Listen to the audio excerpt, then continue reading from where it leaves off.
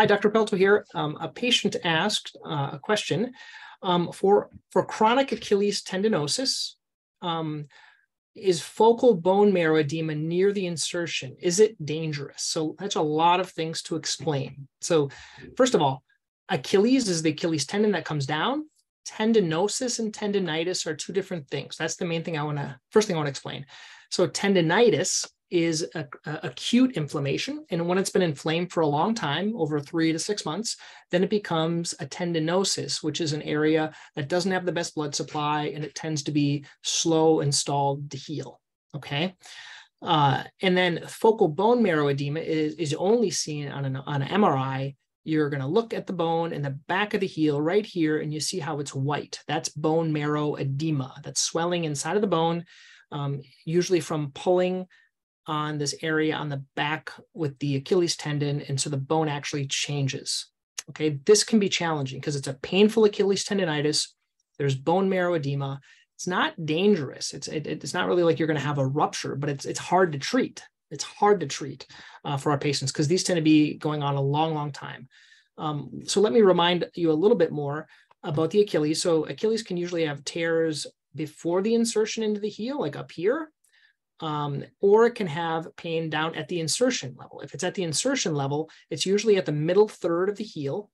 And then if it pulls, it can cause bone marrow edema or swelling inside of the bone. How do I treat it?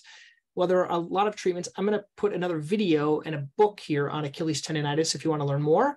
But um, the, the fact is to get the bone marrow edema down, you can try to put someone in a walking boot to really reduce the stress.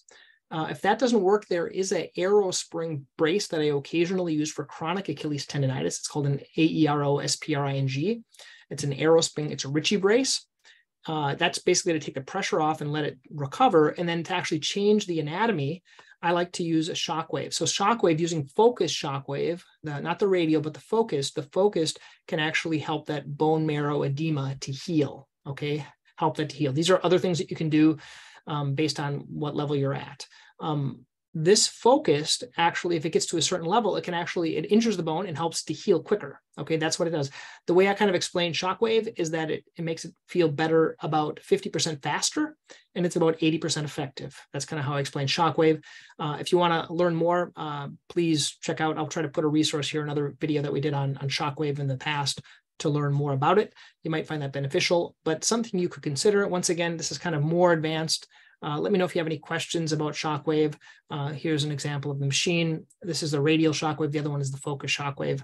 Uh, but it is very beneficial and it has all these things that it does stimulate stem cells growth factors anti-inflammatory effect uh, uh, mechanotransduction and things like this okay?